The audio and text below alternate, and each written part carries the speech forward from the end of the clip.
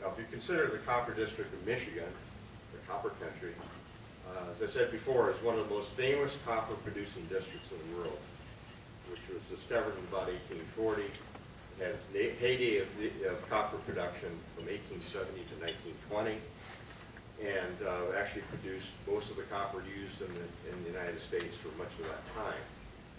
Um, when C&H closed in 1968, a lot of you know this, um, they, uh, the district had produced about 11 and a half billion pounds of copper. Um, White Pine uh, produced about 4 billion pounds, and there's probably uh, 2 or 3 billion pounds left in that deposit. The Copperwood, which is, has a very similar geology to this mine, is uh, maybe a couple billion pounds. So it's a, it's a huge district, it's, uh, it's world famous. And uh, if you look at the map of the Upper Peninsula, here's the Copperwood.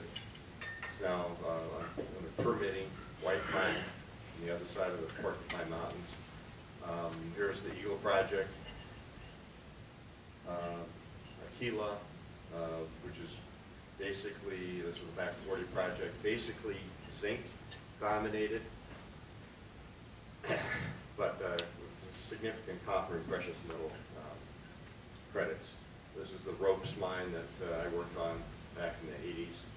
And uh, Kona Dolomite, which is a huge reserve of, of copper, but it's uh, very low grade, so probably not economic. Um, This is the copper country, as you all know. These are the, the major um, developments up there. If you Go to the next slide.